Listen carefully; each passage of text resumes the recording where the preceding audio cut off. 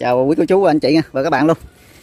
Tiếp video này em chia sẻ mọi người à, thăm dùng ít và cách rải phân dưỡng bông cho những cái chồi bông à, nhỏ mới lú nè mọi người cho nó mập ha. Thì đây là cái à, bông này là bông đi trái chèn. Đó, nó sẽ rải khác với cách mình làm bông tập trung ha. Thì mình có chia sẻ là mình ăn trái rồi, vườn này mình ăn trái rồi. Đó như mình cắt đây nè mọi người đây một trái nó bị ờ, tét nè. Và dài phía trên. Đó. thì cái cây mình nó vẫn còn sung thì nó sẽ ra bông tiếp ha. Nó đâm chờ bông tiếp. Đó, như cây bên này đó, mình vừa ăn trái rồi. Thì mình ờ, đi ờ, phân dinh dưỡng cho nó đều đều mọi người. Thì nó còn sức thì nó ra bông tiếp ha. Đó như cái này là cái cuốn trái ăn rồi nè. Đó, nó ra bông tiếp thì ở đây mình không có xài thuốc ờ, kích làm bông nữa ha. Mà mình chỉ ờ, khi mà ăn gần ờ, trái gần gần xong mọi người nó gần, vẫn còn trái nhưng mà ăn gần rồi gần hết á. Thì mình có tiến hành mình xịt ngừa. Coi như mình rửa vườn á, ngừa nấm bệnh á. Với cái hiện tượng ngừa xì mỏng luôn. Thì mình có cộng thêm thằng bơm ha.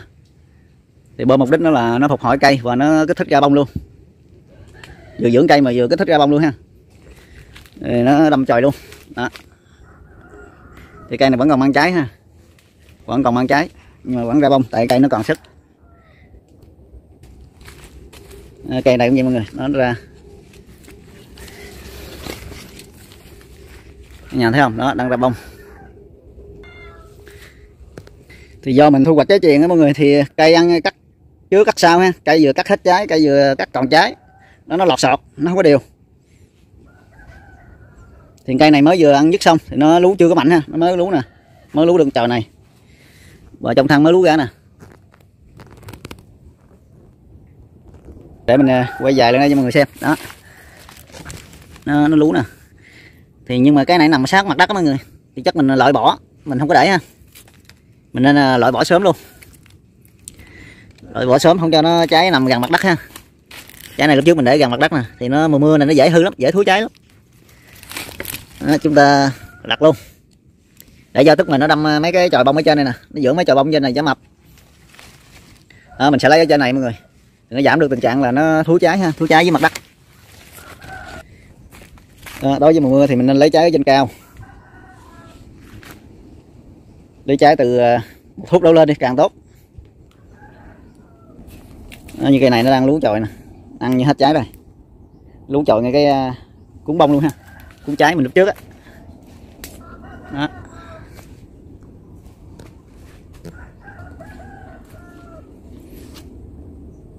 đó thì mục đích mình rải phân vô mình dưỡng ờ, những cái bông này nè cả nhà. Đó, cho nó mập ha. Để nữa lần mình tiện trái mình lấy trái đó. Thì lấy cái luống này mình có thể mình làm bán qua khoảng là tầm tháng tháng 2 ha tháng 2 tháng 3 thì cái luống tháng 2 tháng 3 thì mít nó vẫn còn ờ, vẫn còn được giá ha giá tuy không cao nhưng vẫn còn được. Thì theo ờ, mỗi năm nó vậy đó mình làm vậy đó ha. Nhưng mà tình hình thị trường dịch bệnh thì mình không biết sao ha. Mình chỉ đón theo cái ờ, mọi năm của mình thôi. Đó. Còn thường thì ờ, mít nó lọt vào cái tháng 5 tháng 6 thì nó mới rẻ ha. Tháng 4 năm 6 thì ờ, mít nó rẻ. Cho nên mình canh mấy cái giai đoạn còn tháng 2 tháng 3 ha tháng giêng 2 tháng 3 vẫn còn giá. Thì mình để mình à, tham quan một hờ coi à, tình hình cái trò bông ha. Rồi mình quay chia sẻ mọi người cách à, chọn phân để rải cho cái những trò bông này. Đó, thì nãy giờ mình chia sẻ thì đối với vườn của mình nó còn trái chìm mọi người. Cây còn cây hết ha. Cây còn trái và cây hết trái. Thì mình sẽ chia sẻ cách giải phân là mình giải theo những cây nó đâm trò bông ha. Những cây nó ra trò bông này nè. Và những cây mà hết trái mọi người, để mình dưỡng cây lại, phục hồi cây lại ha. Do nó ra tục máu tiếp.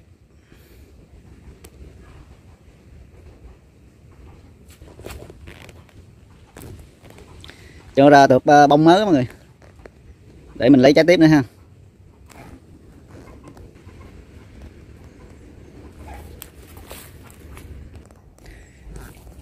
Thì nói chung á, thì trong lúc mình ờ, đang ờ, thu hoạch mít và trái đang nuôi mọi người, thì mình vẫn đi phân ba số 18 cho cây. Đi đều đều cho nó ha. Đi thì cũng vừa chứ không có cho dư. Thì cây nó vẫn có dinh dưỡng ăn thì đối với cây nào mình ăn vừa hết trái ha, như cây này đó mình ờ, cái cây nào nó sức còn thì nó ra bông như nè đó.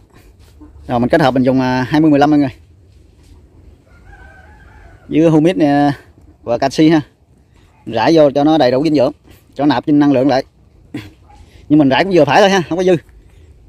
Để cho nó ăn và nó nuôi cái bông cho nó mập lại ha.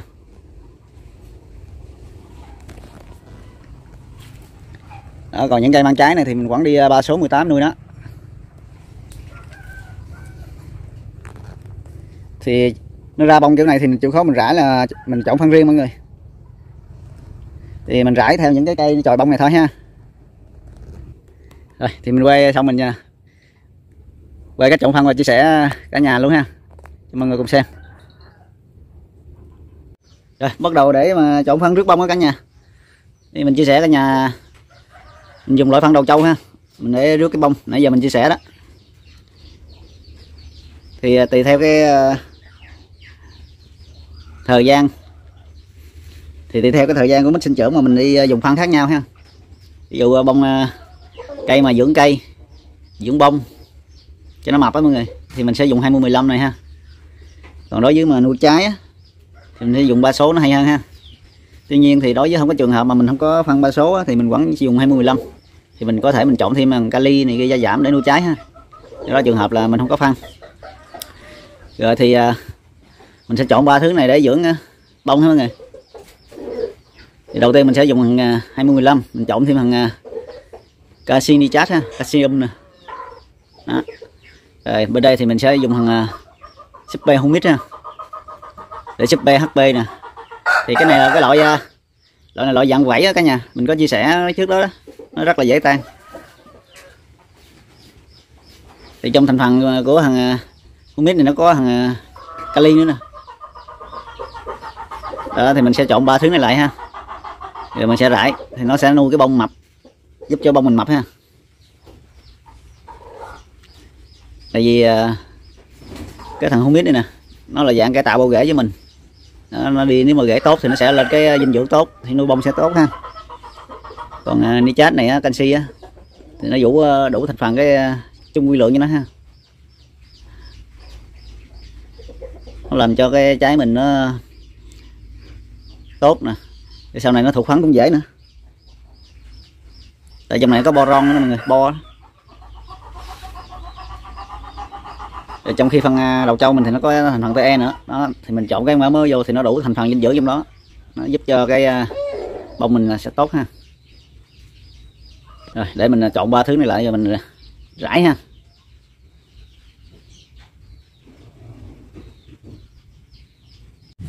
Rồi thì phân mình đã xúc ra thao nè cả nhà.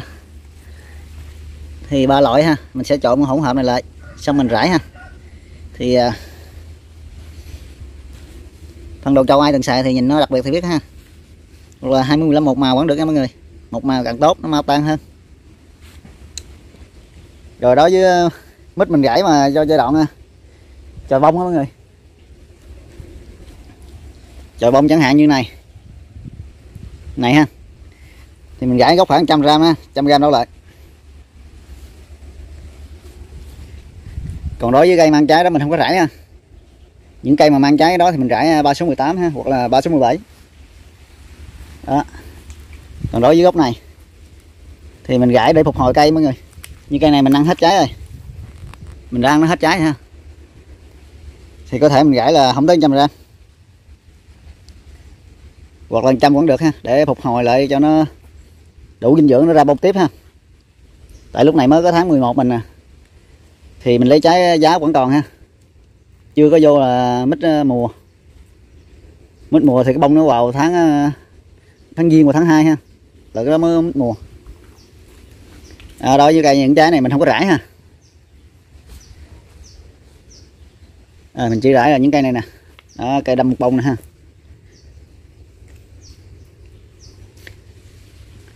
Đó, thì mình sẽ rải những cành vậy thôi.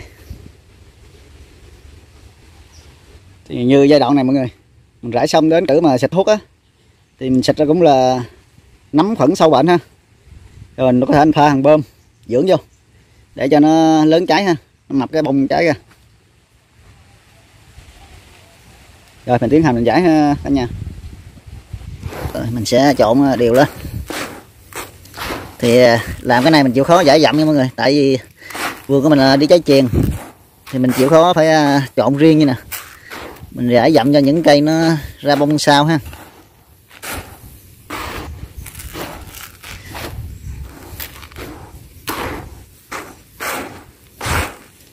Cho nên mình làm này mình chịu khó mình đi cũng thăm vườn thì coi cây nào giai đoạn nào mình rải ha. Rồi, để à, mình tắt máy chút xíu đi mình trộn đều cái mình rải. Rồi, mình tiến hành mình rải mọi người.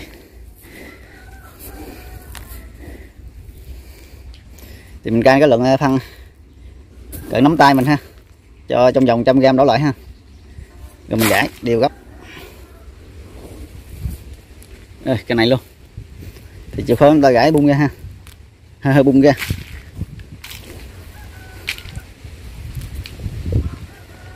Cái này luôn.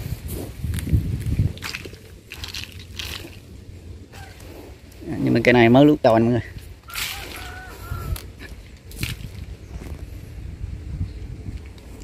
Cây này vừa ăn xong. Chuẩn bị đâm mộc ha. Thì cái cử mà mình à, xịt vệ sinh vườn á mọi người ăn thu hoạch bữa hổm á mình có phòng ngừa bệnh nó mình kèm thêm bơm. Mình xịt thì bữa nay nó có nhút chồi hơi nè. Đó, đâm một chồi theo.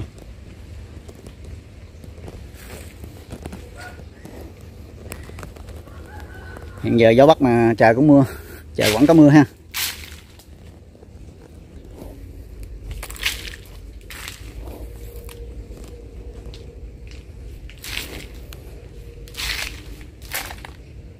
Rồi gãy đều tròn đều gốc nha, hạn chế gãy ờ, sát vô gốc quá.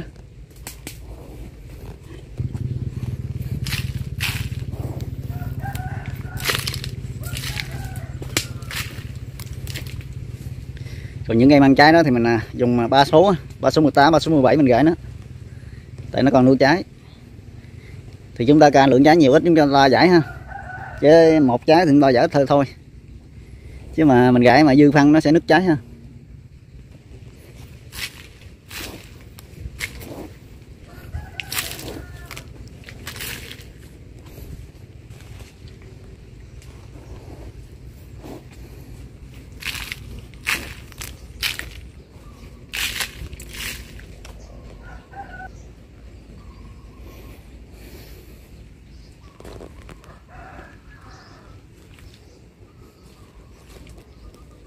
Nó đang à, phúng một bông ra mọi người. Này, mình không có kích nữa ha. Mình không có xài thuốc kích gì nữa. Mà chỉ à, xịt à, phòng bệnh và dưỡng bơm là ra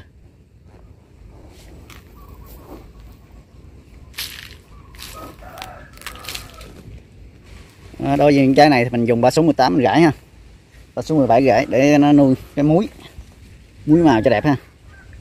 Tại số trái thì lên muối nè, số trái thì nó đang lớn này, mình chỉ áp dụng cho những cây nó dưỡng cây và đang ra tròi bông ha, cả nhà. Đó, khi mà cái trái ta cỡ tầm này, mọi người. Khi mà mình dưỡng cái trái mình tầm cái này cái này ha, thì mình sẽ dùng lại phân ba số ha. Dùng ba số mình gãi nó. Mục đích là cho cái muối nó nở bự á. Cho nó muối bự á. Nếu có phân ba số 18 ha, thì mình gãi. Rồi mình gãi mình sẽ nuôi lớn luôn. Gãi tới lớn luôn ha. Rồi giai đoạn à, bông này. À, bông này với bông chuẩn bị nở thì mình có thể mình dùng 20 15 ha. 20 15 này mình rải để cho nó ra bông.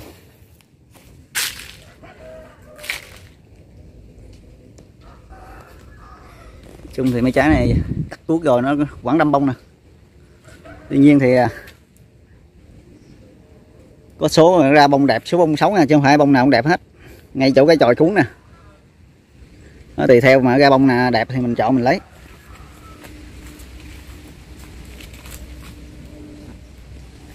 Thì à, nãy giờ quý chị có để ý thấy không? Cây đang rụng lá, mọi người thay lá đó. thì nó thay lá rồi tiến hành nó đâm trà bông. Thường thì vườn mít nó rất là dễ rụng lá ha. Nó thay rất nhiều đợt lá. Đó, cây nào mà rụng lá thì nó ra bông.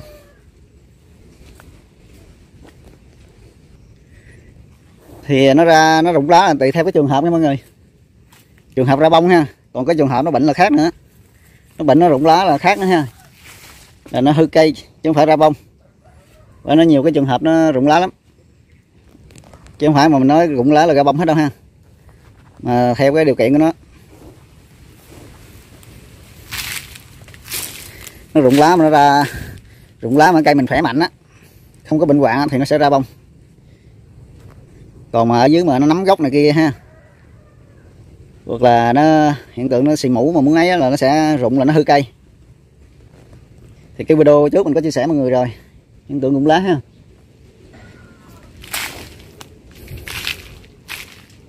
Rồi thôi video mình chia sẻ mọi người đây kết thúc nha rồi, chào làm biệt ờ, cả nhà luôn.